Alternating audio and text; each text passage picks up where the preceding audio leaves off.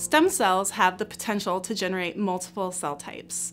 This makes them medically relevant for treatment of diseases and injuries in which cell replacement is a viable treatment strategy. this is particularly true for pluripotent stem cells, which have the ability to generate all of the cell types in our bodies. A hurdle to using these cells, however, in the clinic is the ability to generate fully functional and mature cell types. My work has discovered that a metabolite called alpha-ketoglutarate can be used to accelerate the transition from stem cell to a more mature cell type.